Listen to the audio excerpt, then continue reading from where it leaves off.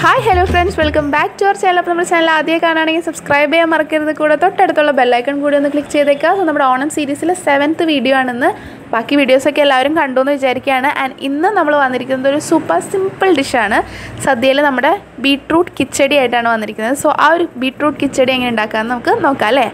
So അതിന് വേണ്ടിയിട്ട് ഞാനിവിടെ രണ്ട് മീഡിയം സൈസ് ഒരു മീഡിയം എന്ന് പറയാൻ പറ്റില്ല ഒരു ചെറിയ രണ്ട് ബീട്രൂട്ടാണ് എടുത്തിരിക്കുന്നത്. ഓക്കെ ഒരു മീഡിയം സൈസ് രണ്ട് ബീട്രൂട്ട് എടുത്തിട്ടുണ്ട്. ഇത് ആദ്യം നമുക്കൊന്ന് വേവിച്ചെടുക്കാം. അതിന് വേണ്ടിയിട്ട് ഇത് ജസ്റ്റ് ഒരു നാലായിട്ട് കട്ട് ചെയ്തതിന് ശേഷം ആവശ്യത്തിന് വെള്ളം ഒഴിച്ചു കൊടുക്കുക. അതായത് ഇതൊന്ന് മുങ്ങി നിൽക്കുന്ന രീതിയിൽ അതായത് ഇതുപോലെ വെള്ളം ഒഴിച്ചു കൊടുത്തതിന് ശേഷം ക്ലോസ് ചെയ്ത് വെച്ച് വേവിച്ചെടുക്കാം. വളരെ സിമ്പിൾ സിമ്പിൾ സ്റ്റെപ്സ് ആണ് കേട്ടോ ഇത് വേവുമ്പോഴേക്കും നമുക്ക് നമ്മുടെ അരപ്പ് റെഡിയാക്കാം. അതിന് വേണ്ടിയിട്ട് നമ്മുടെ ഒരു മുക്കാൽ കപ്പ് തേങ്ങ എടുത്തിട്ടുണ്ട്. അതിലേക്ക് ഒരു അഞ്ച് പച്ചമുളകും എരിവിനനുസരിച്ച് ആഡ് ചെയ്ത് കുറച്ച് വെള്ളം ഒഴിച്ച് ഇത് നന്നായിട്ട് നല്ല സോഫ്റ്റായിട്ട് അരച്ചെടുക്കാം. കണ്ടോ? ഇതുപോലെ. സോ അത് കഴിഞ്ഞ് കുറച്ച് കഴിയുമ്പോഴേക്കും നമ്മുടെ ബീട്രൂട്ട് വെന്തിട്ടുണ്ടാവും. ആ ബീട്രൂട്ട് നമ്മൾ നേരെ ഒരു പ്ലേറ്റിലേക്ക് മാറ്റി വെച്ച് ജസ്റ്റ് ഒന്ന് ചൂടാറട്ടെ കേട്ടോ അത്.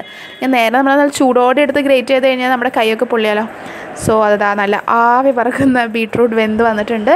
സോ ഓണം ഓണം ഡിഷിൽ നമ്മൾ എപ്പോഴും കാണുന്ന ഒരു പിങ്ക് കളറുള്ളൊരു ഡിഷില്ലേ അതാണിത് നമ്മുടെ ബീട്രൂട്ട് കിച്ചടി. സോ നമുക്കത് ഗ്രേറ്റ് ചെയ്തെടുക്കാം ചൂടാറിയപ്പോൾ. നന്നായിട്ടെല്ലാം ഗ്രേറ്റ് ചെയ്തെടുക്കാം ഒരു ഗ്രേറ്റർ ഉപയോഗിച്ചിട്ട്. ജസ്റ്റ് നന്നായിട്ട് ചെയ്തെടുക്കാം. അപ്പോൾ വളരെ സിമ്പിളായിട്ടുള്ളൊരു ഡിഷാണിത്. ആക്ച്വലി ഒരു അഞ്ച് അഞ്ച് അഞ്ച് മിനിറ്റ് കൊണ്ട് എന്തായാലും ഉണ്ടാക്കാൻ പറ്റുന്ന ഒരു ഡിഷാണ്. വളരെ സിമ്പിളുമാണ്.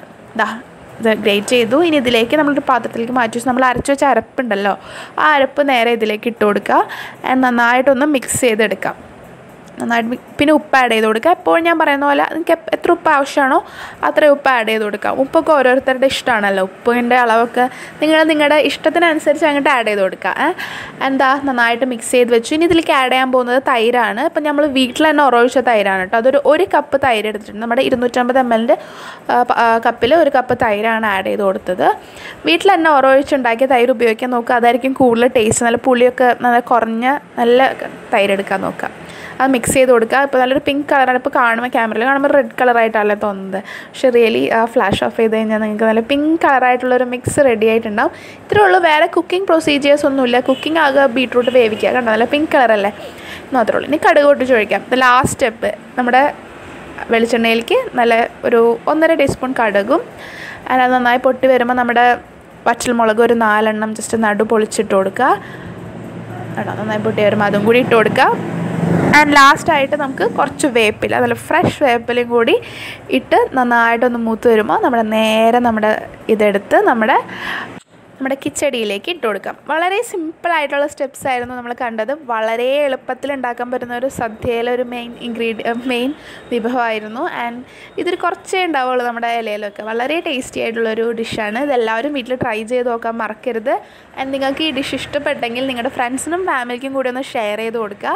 ആൻഡ് നമ്മുടെ ചാനൽ ആദ്യമേ കാണുകയാണെങ്കിൽ ജസ്റ്റ് ഒന്ന് സബ്സ്ക്രൈബ് ചെയ്യാൻ മറക്കരുത്. ആൻഡ് അതിന്റെ കൂടെ തൊട്ടടുത്തുള്ളൊരു ബെല്ലൈക്കൺ കൂടി ഉണ്ട്. അതൊന്നും കൂടി ക്ലിക്ക് ചെയ്യുക. ആൻഡ് ഇതുപോലെ നല്ല നല്ല വീഡിയോസ് ഓണം റിലേറ്റഡ് വീഡിയോസൊക്കെ നമ്മൾ പോസ്റ്റ് ചെയ്തിട്ടുണ്ട്. അതിന്റെ ലിങ്ക്സൊക്കെ ഞാൻ ഡിസ്ക്രിപ്ഷൻ ബോക്സിൽ കൊടുക്കാം. ജസ്റ്റ് ഒന്ന് പോയി നോക്കുക നിങ്ങൾക്ക് ഉറപ്പായിട്ടും ഇഷ്ടപ്പെടും.